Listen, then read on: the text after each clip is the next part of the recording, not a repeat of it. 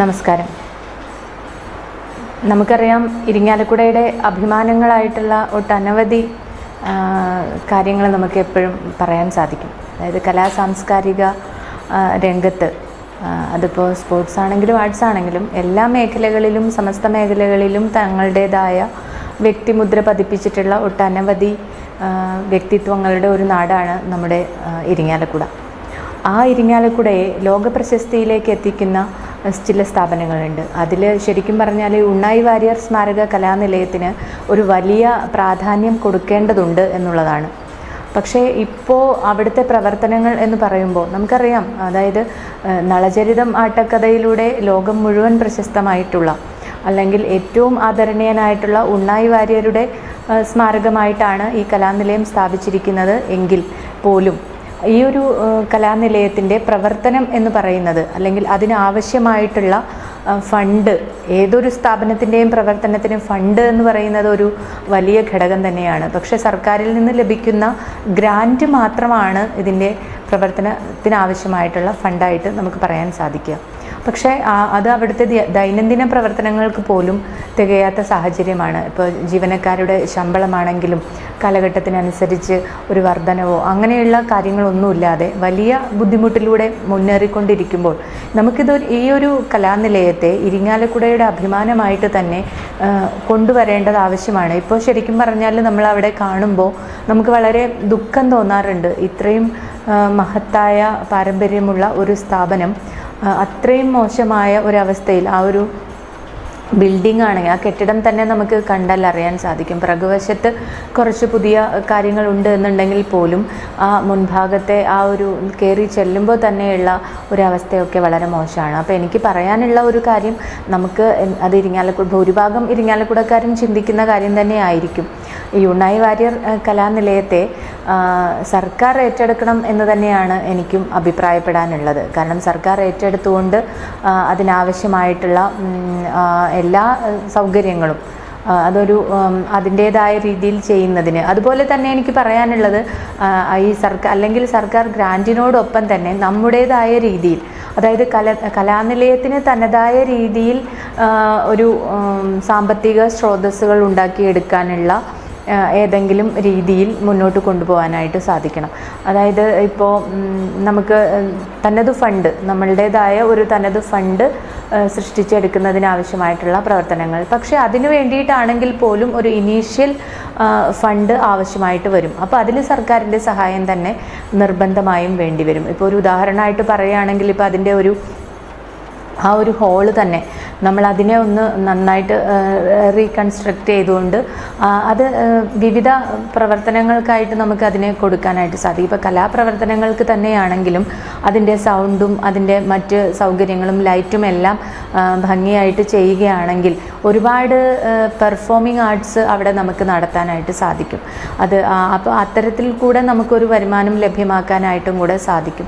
അതിൽ അതുപോലെ തന്നെ എനിക്ക് വളരെ മനസ്സിൽ ഞാൻ ആഗ്രഹിക്കുന്നുണ്ട് നഗരസഭയുടെ ഭാഗത്തു നിന്നും നമ്മൾ ചെയ്യണമെന്ന്. അതായത് ഈ കലാകാരന്മാർക്ക് ഒരു പ്രമോഷൻ എന്നുള്ള രീതിയിലും അവർക്ക് ആവശ്യമായിട്ടുള്ള അല്ലെങ്കിൽ നമുക്ക് ലോകമെങ് എമ്പാടുമുള്ള കഥകളിയെയും കുത്തിനെയും കൂടിയാട്ടത്തെയും അതുപോലെ മറ്റ് കലകളെയും ഒക്കെ സ്നേഹിക്കുന്ന ഒരുപാട് പേരുണ്ട്.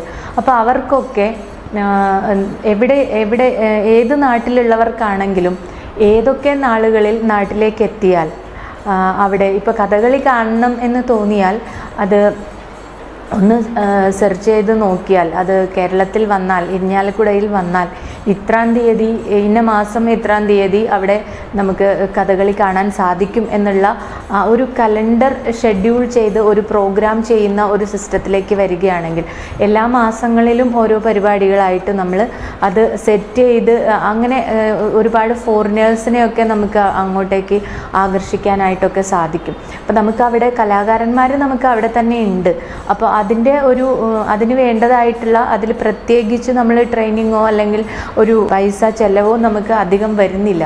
അപ്പോൾ ഈ ഇത്രയും ആളുകൾ ഒരു ഒരു മിനിമം നമ്പർ ഓഫ് ആളുകൾ ഇങ്ങോട്ടേക്ക് വരാനുള്ള ഒരു സാഹചര്യം നേരത്തെ ബുക്ക് ചെയ്യുന്നതിനുള്ള ഒരു സൗകര്യമൊക്കെ ഈ ഒരു ആധുനിക കാലഘട്ടത്തിൽ ഡിജിറ്റൽ യുഗമാണ്. നമ്മൾ അതിന്റെയും കൂടെ സാധ്യതകൾ ഉപയോഗിച്ചുകൊണ്ട് ഈ കുറേ ഫോറിനേഴ്സിനെയും കൂടെ അല്ലെങ്കിൽ നമ്മുടെ നാട്ടിലുള്ളവർ തന്നെയാവാം ഒരുപക്ഷെ. ഇപ്പോൾ അതുപോലെ ചില ആളുകളുണ്ടാവാം ഉണ്ടാവാം നമ്മുടെ പല സ്ഥലങ്ങളിലുമുള്ളവർക്ക് അവർ അവരുടെ പേഴ്സണൽ ഫങ്ഷൻസിൽ തന്നെ ഒരുപക്ഷെ ഇത്തരത്തിലുള്ള ആർട്ട് ഫോംസ് പെർഫോം ചെയ്യിപ്പിക്കുന്നതിന് താല്പര്യമുള്ളവരുണ്ടാവാം വലിയ ഫങ്ഷൻസ് ഒക്കെ നടത്തുമ്പോൾ.